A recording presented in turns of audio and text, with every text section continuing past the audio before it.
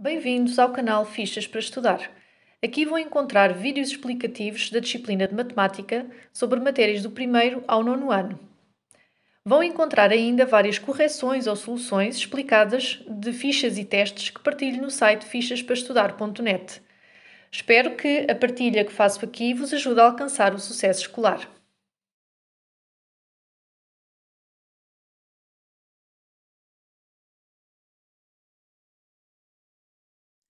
Olá, bem-vindos a mais um vídeo aqui do canal Fichas para Estudar. No vídeo de hoje trago-vos uma ficha de trabalho para exercitarem a numeração romana. Já tinha partilhado anteriormente uh, no canal uma, um vídeo onde explico as noções uh, de numeração romana, portanto, os símbolos, as letras que são utilizadas. Um, fiz também alguns exercícios nesse vídeo, deixo-vos aqui o link no topo para poderem ver. Um, esta ficha podem imprimir do site, portanto, está, eu disponibilizo uh, o link da ficha no site. Um, vou dividir um, a resolução em duas uh, partes, apenas para que não fique demasiado extenso um, e assim depois podem ver calmamente um e outro. E, e espero que seja útil. Vamos lá. Portanto, no primeiro exercício, completa a tabela conforme o exemplo. Então temos a numeração árabe, depois temos a numeração romana e temos que escrever o número por extenso. Eu aqui ao lado coloquei assim um, um resumo rápido só para relembrar uh, como é que simbolizamos, portanto, as letras que existem na numeração romana são estas que nós vemos aqui. E cada uma delas simboliza um determinado uh, valor. Algumas regras importantes. Portanto, cada uma delas não se pode repetir mais do que três vezes. Uh, e quando precisamos de fazer, portanto, se precisamos de adicionar, imaginem, preciso de fazer 6, então coloco o V que vale 5, e à frente junto mais 1. Mas se, ao contrário, se eu precisar de fazer o número anterior um 4, como eu não posso repetir esta letra 4 vezes, porque a regra diz que só posso no máximo repetir 3, então o que eu faço é colocar o número 1 atrás da letra, que simboliza a subtração, tá bem? E é isso que nós vamos aplicar aqui na resolução da ficha. Então, o segundo número que temos aqui, 122, então vamos usar o C, Vamos usar 10 duas vezes para fazer o 20 e vamos usar duas vezes o i para fazer o 2. Okay? Então, 122. Depois temos o 69. Então, vamos usar o 50, aqui um L, mais 10 para fazer o 60 e aqui, lá está, eu não consigo repetir 4 vezes. Para fazer o 9, o que é que eu vou fazer? Eu vou tirar 1 ao 10. Então, vou colocar o i antes do x. E assim simbolizo o 9. Então, 69. 83. Então, o que é que eu vou fazer? Vou colocar o L50 e vou colocar 3 vezes o 10 para fazer o 80 e três vezes o i para fazer o 3. Vamos colocar assim. Então, tenho 83. 89. Vou repetir esta parte para fazer o 80 e depois para fazer o 9 vou fazer da mesma forma que fiz aqui. Então, vou retirar o 1 ao 10. Então, temos 89. Exercício número 2.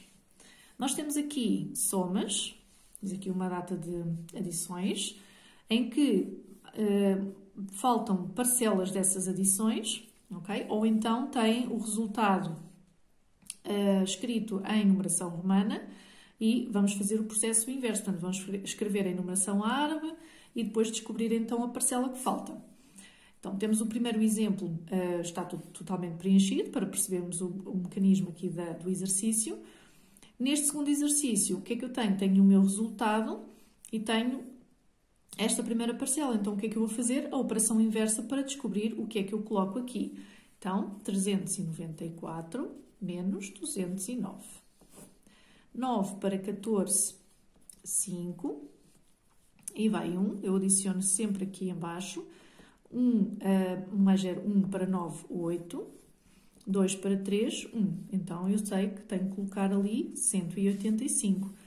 O que eu vou escrever aqui em numeração romana é em relação ao resultado que eu tenho aqui. Então, 300, eu vou usar 3 vezes o C. 90, vou retirar 10 ao 100. Ok? E 4, vou retirar 1 ao 5, está bem? Porque não podemos repetir 4 vezes as letras.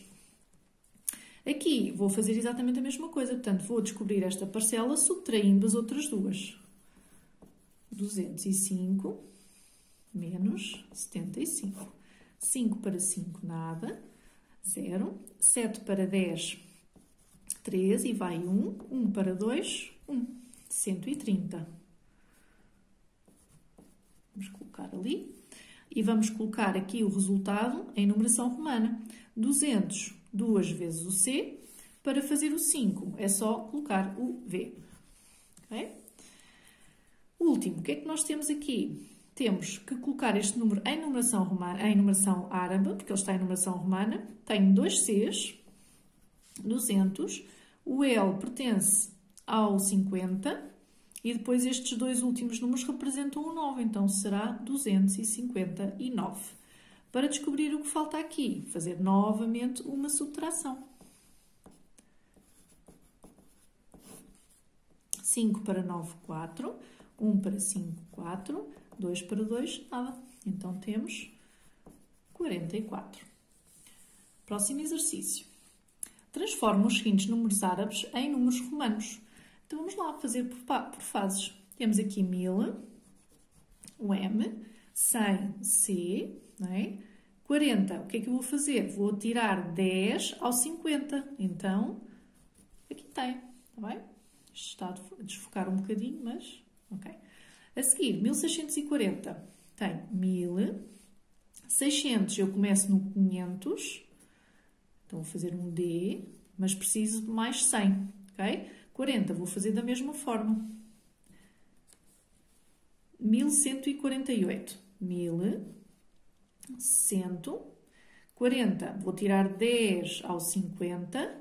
E para fazer 8, vou fazer o 5 e 3 is, ok? 1155, 1755, 1000.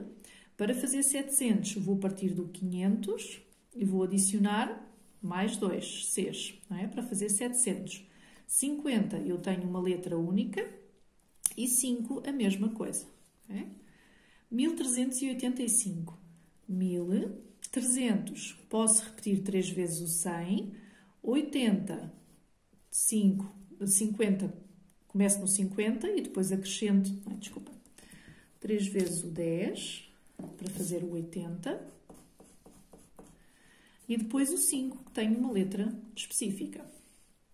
1808, 1800, vamos colocar aqui mas um D e juntar 3 Cs, aqui para 700 colocamos 2, mas aqui no 800 vamos colocar 3. E depois, para fazer o 8, Vamos começar no 5 e acrescentar 3 is.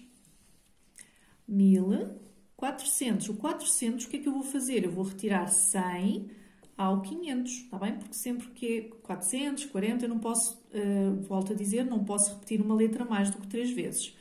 Então tenho que subtrair, tenho que fazer a tal subtração. 90, vou retirar 10 ao 100, a mesma coisa. E o 8, Aqui um 5, 6, 7, 8. Okay?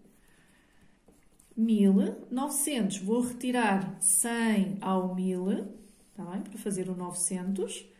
E 10, eu tenho um único, uma única letra, tá bem? Vamos fazer então aqui o início do exercício 4 e depois terão o restante, na, o restante deste exercício na segunda parte, tá bem? transforma os seguintes números romanos em números árabes. Então agora temos o processo inverso. O que é que eu tenho aqui? Duas vezes o M, então vou colocar 2000. Aqui tenho um 10 antes de um 50, então significa que eu tenho 40. Não vou colocar nada na centena porque eu não tenho nenhuma letra que represente a centena. 40 e depois tenho no final 8, porque é 5, 6, 7, 8. Okay? Aqui tenho isto representa a parte da centena. O que é que vocês têm aqui? 500, 600, 700, 800. duas letras aqui eh, simbolizam a dezena, que é 20, e esta parte significa ou simboliza o 9 na parte das unidades, ok? Deixo-vos então depois aqui o link para uh, seguirem para a parte 2 e espero que a ficha ajude. Isto é matemática terceiro ano, embora no quarto ano também se treine bastante. E obrigada por ter existido. Até ao próximo vídeo.